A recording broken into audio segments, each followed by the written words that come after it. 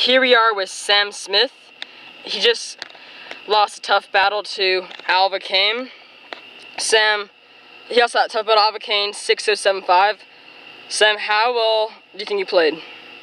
Uh, I thought I played overall pretty good. Well, in the second set. I thought I didn't play very well in the first set. Because I was hitting a lot short. Well, my ball shot to his forehand.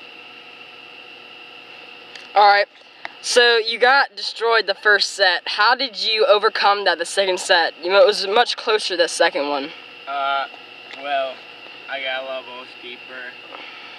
And once I got that first game, I knew I it would be closer. And, uh, I, I served better.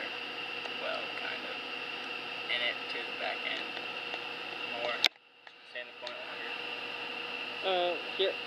Uh, so do you, you know you hit a lot of short balls like you said in that first set. Uh, do you think that you may have been tired because you've just switched over to a new training facility and uh, they do a lot of running over there, over at Greystone Um, in the beginning? Do you think that affected it at all? Maybe I was moving my feet a lot earlier today, and not as much in the match. So maybe I was my legs were tired, but What do you? How are your Um, thoughts on the end of that match? Um, you you made it really really close.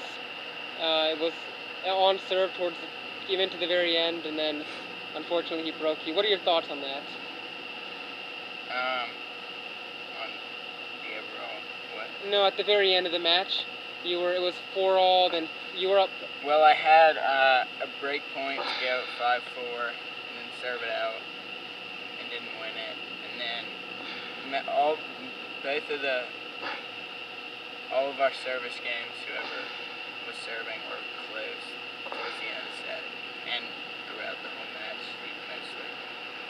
I have to ask this question. Oh you like to get. It seems you like to bring the guy to net because you love Well, to do the you love to do the passing shot. Is that your favorite shot? Well, I do love my back. I do like my backhand passing shot, but he was he had great volleys, so and good drop shots, so it didn't really work except for in the sec- a few times in the second set. Alright, thank you, Sam Smith. Good luck in your next match tomorrow. Thank you. You too.